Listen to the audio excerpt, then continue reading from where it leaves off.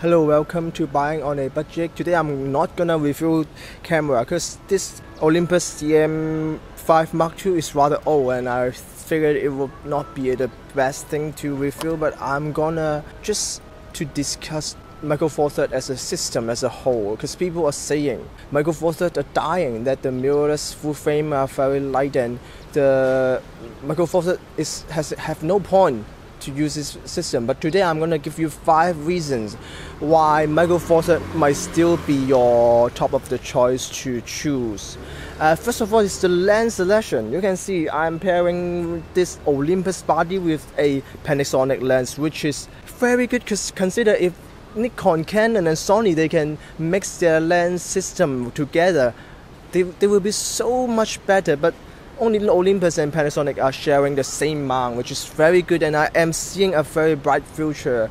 And right now, I, we are in the Northern Park in Macau, close to the border gate, but not exactly around there. Macau is very small, but border gate have a lot of people, but in here is not many people here because it's the residential place, and Macau is mainly a tourist some places city.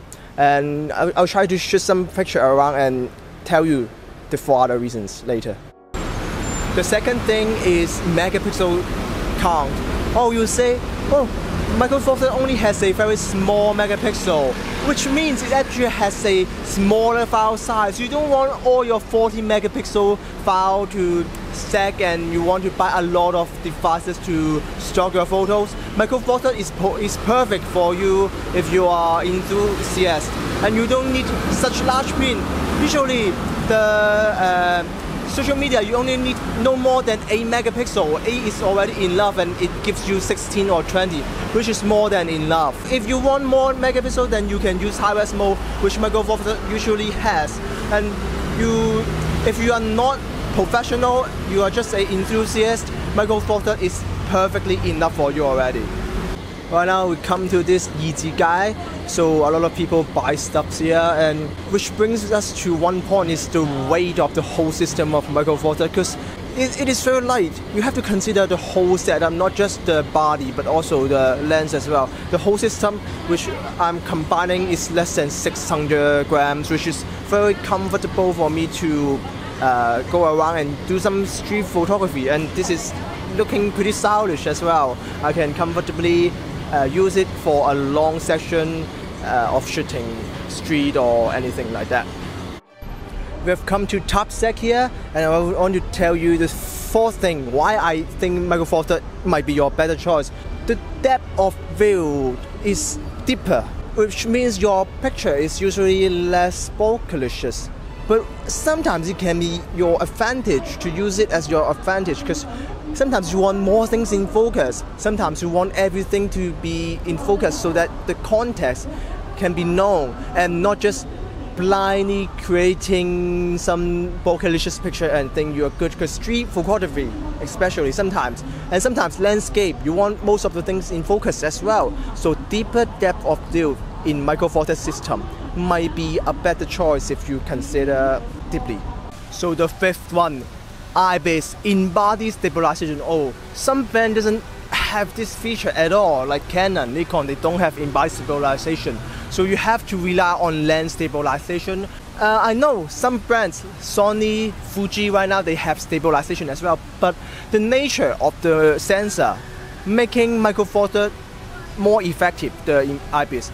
Be why? Because the sensor of Micro Four Third is smaller, which means there are more room for the sensor to move around in order to produce a better in-body stabilization, which means you can use your prime lens and with usually fast prime and then still have the uh, benefit of in-body stabilization.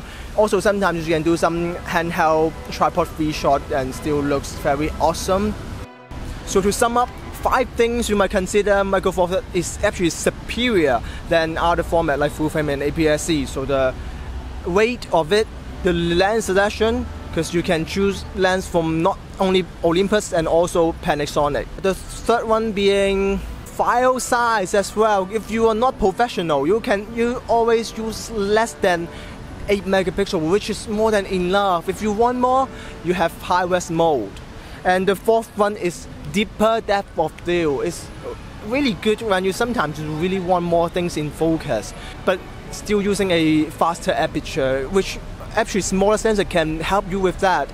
And the fifth one is in body stabilization. Olympus stabilization is still the one of the best in the market.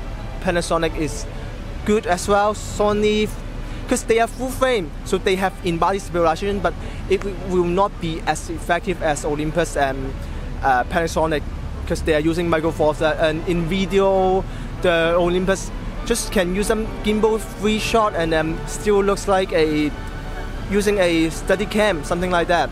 So five things you might consider why you want a micro four thirds system instead of full frame. That's it. Thank you very much. Uh, if you like this video you might consider consider subscribing liking and commenting.